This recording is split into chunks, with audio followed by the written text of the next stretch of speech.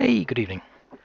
So today we're going to take a look at DERPCAM, D-E-R-P-C-A-M. It's CAM software. That is, it's software that's intended to take CAD files and translate them to something a CNC machine can understand. In this case, G-code. It's an open source project, so it's free to download, free to use. You can find DERPCAM on GitHub. Just search for it there. It was actually written by a friend of mine. Uh, I also contributed some of the pathfinding algorithms, so I'm biased. Get over it. It's been developed with hobbyists in mind. Most of the CAM options out there are commercial software. They're expensive, they're very feature complete, but they're, they're also very, very complicated. Um, as a hobbyist, even if you could afford the financial outlay of buying this software or leasing this software, um, it's it's still overkill. Uh, you know, as a as a hobbyist, you want something that's easier to use, a bit more user friendly, something that holds your hand and walks you through it. Um, DERPCAM's designed to be sort of batteries included. The default options should give you sane output. Um, you know, if you don't understand what an option is, leave it alone. It's it's going to be fine. Yeah, that's about it. So without further ado, let's uh, let's open it up. Okay, let's just jump in at the deep end. I'm going to presume that you have a CAD file that you want to turn into a physical part on a CNC machine. I do. Here is mine. This is actually a change gear for my lathe. The originals are made of cast iron, but I want to cut this one out in Delrin, which is a nylon-like plastic. It's low friction and hard wearing. So you're going to want to select part of your drawing. You can either click here, actually on the drawing itself, or you can come over to the menu on the right hand side. You can do fairly standard things here. If I hold control down, it will select more than more than one component. But for the time being, let's just select polyline. DERPCAM has the concept of operations, so we want to apply an operation to this polyline. What specifically do we want to do? We want to move the end mill to the outside of the polyline and follow the edge round. That will cut this part free of the stock material. So, machining, outside contour. This will bring us to the Tools and Preset menu. Here, DERPCAM is prompting you to select a tool or optionally a preset to apply to the operation. A tool is fairly easy to understand. It's the physical attributes of a tool, how wide it is, how long it is, things like that. A preset is a set of parameters you might want to apply to a particular operation. So if you were milling polycarbonate, you would want a very different set of feeds and speeds to if you're milling steel, for example. So let's have a little look at some of these. An end mill configuration you need a human readable name, something to identify the tool when you rummage about in your box full of tooling, as well as the physical attributes, what it's made of, its diameter, number of flutes, and the, the actual flute length, for example. In the presets, we're going to things find things like feeds and speeds, um, along with a bunch of other settings. Again, you're going to need a human readable name here, something to identify this preset uh, underneath a particular tool from any other preset. I tend to use the material that the preset is used for, uh, for this setting. If you don't understand what a configuration option is here, go with the default. DERPCAM is trying to do the right thing for you here. If you go with the, if you go with the defaults, it's going to be fine.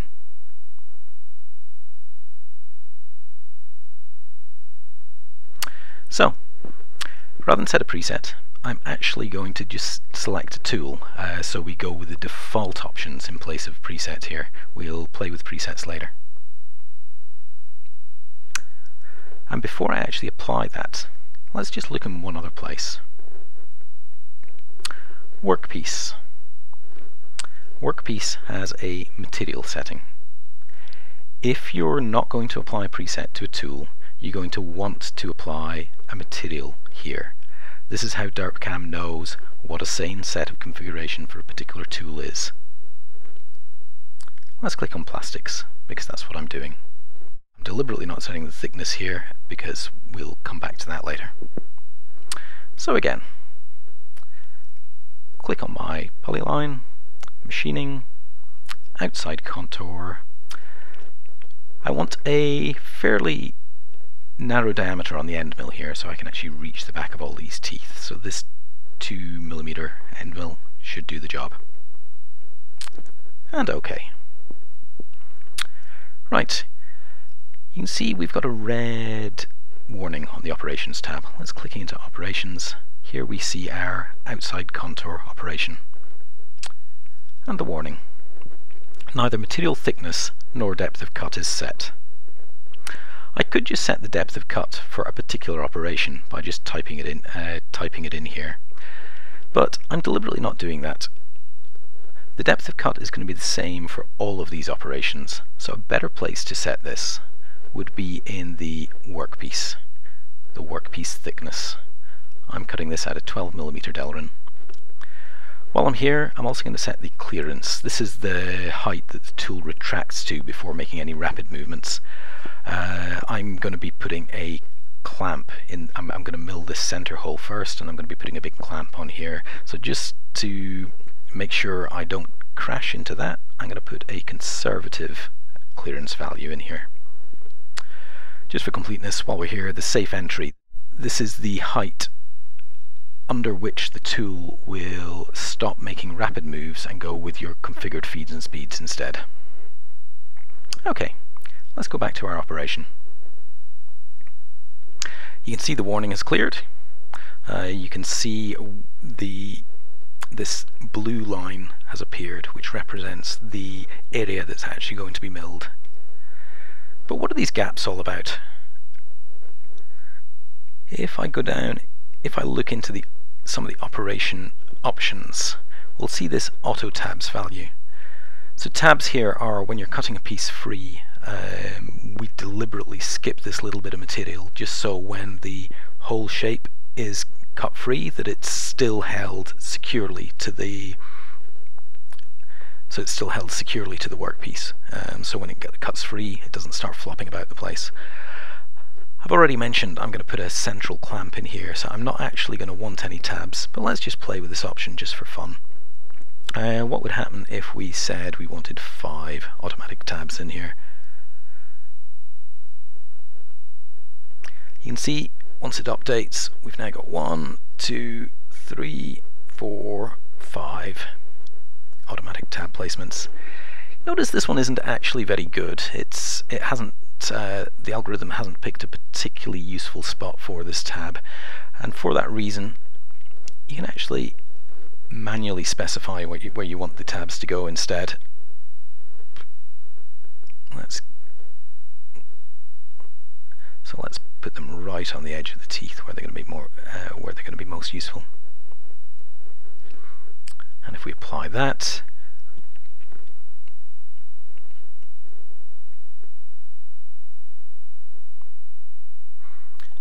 one, two, three, four in the places I selected. Notice that this the manual tab settings overrides the auto tab value. I've asked it for 5 to be placed automatically, but the 4 I have explicitly specified override that. So to get rid of them again, you can just click. If you put a tab anywhere, just click on it to get rid of it.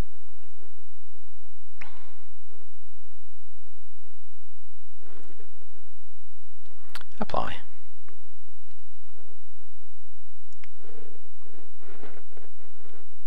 And as I've already mentioned, if you don't want tabs, switch them off entirely. If you never want tabs, this would be a good time to go Edit, Preferences, Auto Tabs, and set the minimum number of tabs down to zero. This will make sure that a tab is, like automatic tabs, are never generated. Okay, at this point you want to review some of the default options that DERPCAM selected for you. In particular, the feeds and speeds. You'll notice here DERPCAM has decided on 472 millimeters a minute uh, feed rate and 41 for the plunge. Um, also 23,000 RPMs. On my machine, this really isn't ideal. I can get away with a much slower RPM speed than this and my plunge rate I can probably step up again. The feed rate's actually not bad for my machine. This is this is going to be dependent on your machine. So I could set these manually here. But a better thing to do here, if I just press, if I click on this and delete, click somewhere else, it'll go back to the default setting. You can see it's a grey font. This implies the default setting. Rather than manually set all these, I can select a tool preset.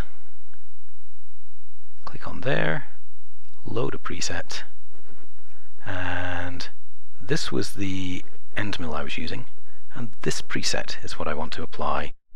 This is a set of feeds and speeds that works well on my machine in plastics. So let's apply that. You can see now RPM of 4000, much higher plunge rate, similar enough, similar enough feed rate. As you work with DerpCam, you'll end up with a set of sensible presets for the tooling that you use most often. I encourage you rather I encourage you rather than just manually editing these settings, in this menu to actually go and create presets. This gives you a reminder next time you come to use a particular tool in, on your machine in a particular material. It's a reminder what speeds and feeds you used last time. So you know it's a, it, so it's a good way to remember what it's a good way of keeping notes on what feeds and speeds work for you, work for your machine in a particular material.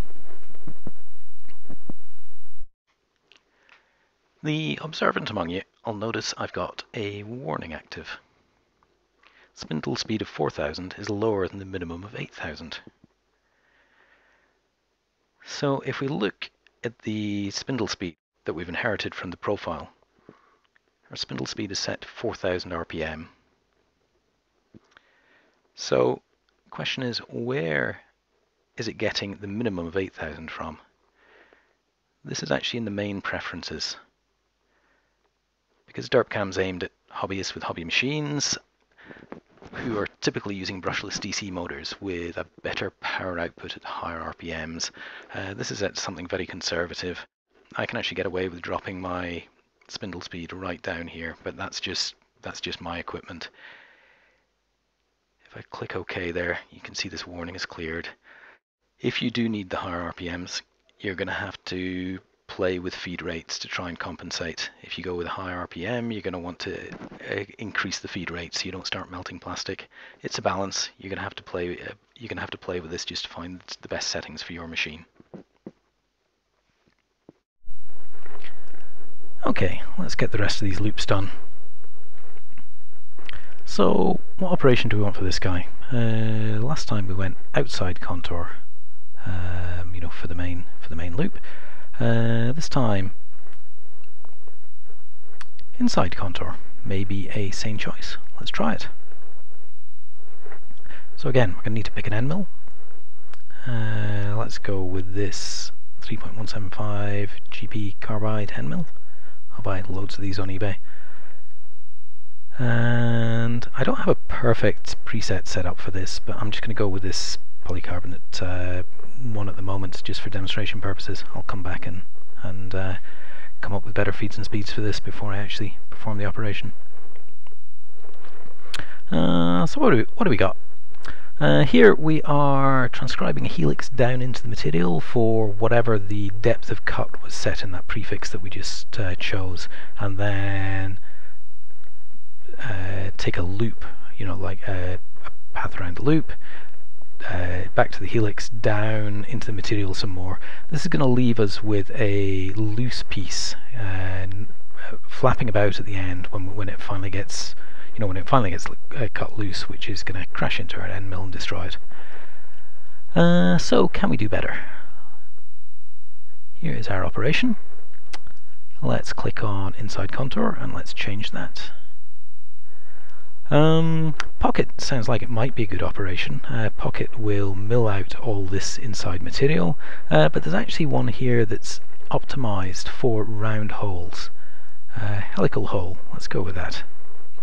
Uh, so here this draws a helix all the way down through the material um, before coming back up to the top, moving out and doing the, the same thing for the next circle. Rinse and repeat. This is the one we want. Now let's click on these. Uh, I'll click on this hole and hold down control, click on that hole so we can actually select the two of these together and uh, do both these operations in one. This time machining, drilled hole. Let's just push the end mill straight down through the material with an appropriately sized uh, drill bit. Uh, these holes are 4 millimeters, so scroll down. Here we go. Here's a 4mm drill bit. I don't have an ideal preset and um, pointless pointless you watching me set up a set up a new preset now. I'm going to come back and set up a proper preset for this but in the meantime let's just go with this one.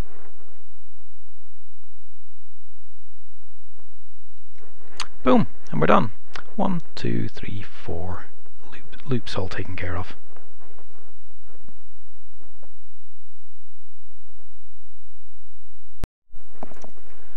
Okay, what other things do we have to do to, do to this? So, remember we said we were going to put a clamp in this hole before we cut the outer edge. Let's... So that means, like, we're going to do these operations in the order they appear in this list. That means we want to reorder these. We have the arrows here that we can move things up and down.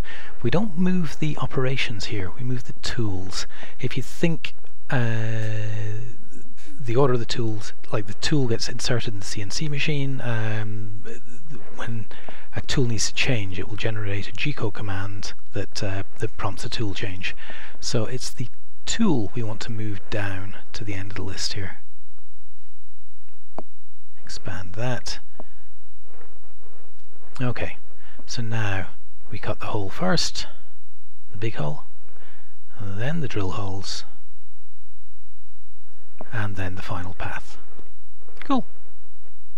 File, save project, file, export G-code.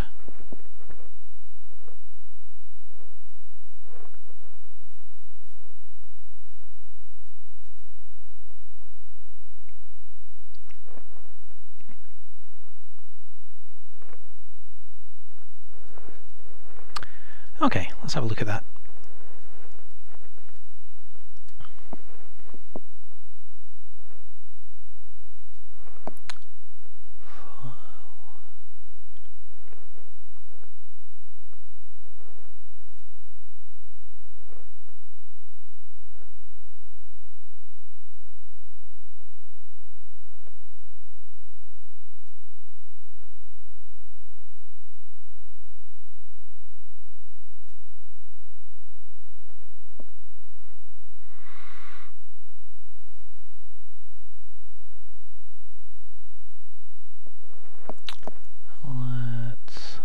Surface so we can see what's going on here.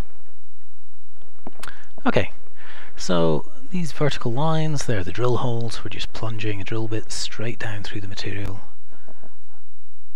Cutting the center hole, we're kind of drawing a helix down the middle, then a larger one, then a larger one, then a larger one. That's fairly obvious. Um, and then again, for this, you know, like for the outside loop, we uh, descend down into the material, do step at a time. Let's see if we can watch that run. Isometric view. Simulate. Whoops. Play. My laptop doesn't really have the power for this sort of uh, simulation, but uh, here.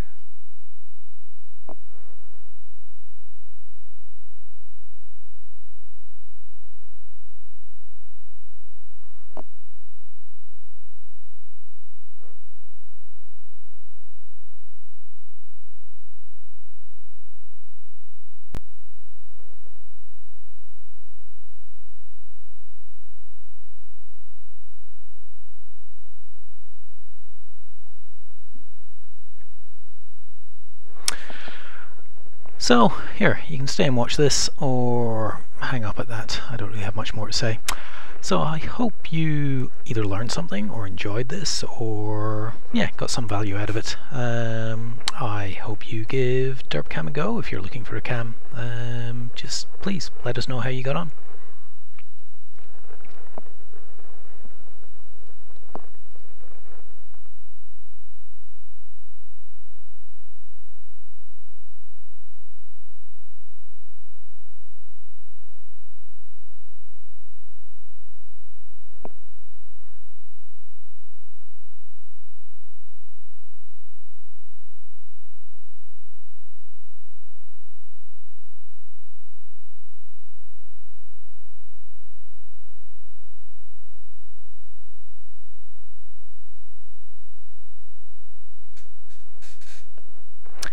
Thanks for watching.